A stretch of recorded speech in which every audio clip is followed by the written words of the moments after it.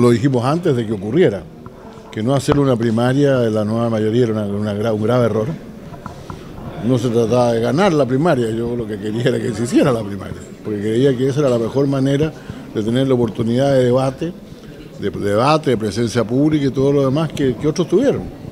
Ahora, claro, venimos saliendo de un momento en el cual eh, todavía falta para la elección.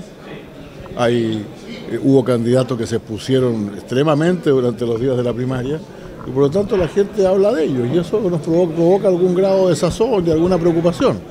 El hecho que eh, se hable más de, más, mucho más de Beatriz Sánchez y Sebastián Piñera que Alejandro Guillé y Carolina Goy, por cierto, que preocupa a los partidos de la nueva mayoría, pero creo que fue una cosa que hicimos nosotros.